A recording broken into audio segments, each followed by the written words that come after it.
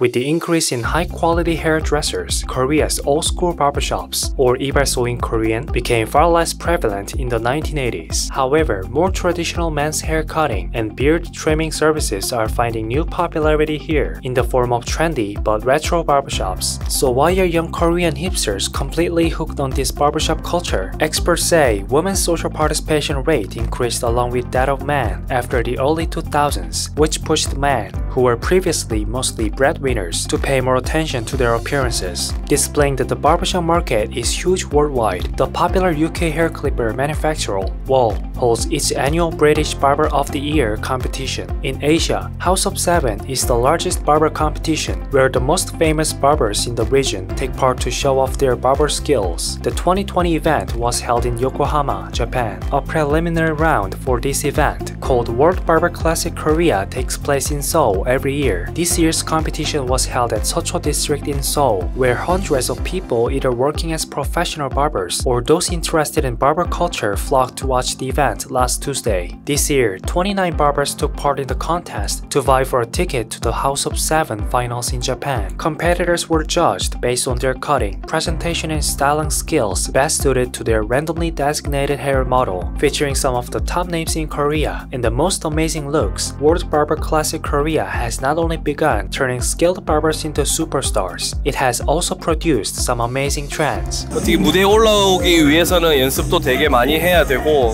센스 있는 기술력과 감성의 의도가 명확하게 되는 어, 그런 걸 중점적으로 보고 있습니다. The competition has a 30-minute time limit to put the barber's speed and accuracy to the test. The winner of this tournament gets an opportunity to participate in the final round of House of Seven and compete for Asia's champion title. The final round is set to be held next year in Japan.